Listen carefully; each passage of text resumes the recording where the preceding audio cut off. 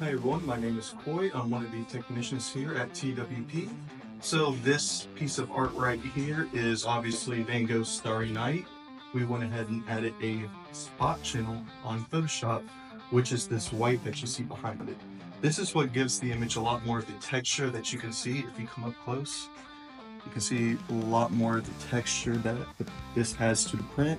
And it also makes it so it's like stained glass. So if you come over here and hold it up in the light, you can see it's transparent in most areas besides these darker areas, which were not covered up by the spot channel. This also gives it more of the characteristic of a actual painting.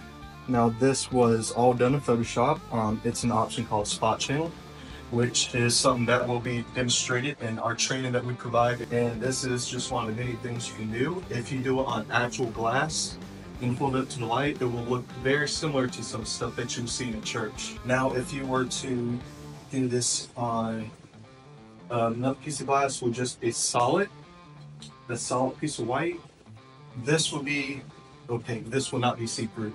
This will be a very solid color as if you were to put it up against the wall. This is just one of the many things you can do with Photoshop plus wall grid.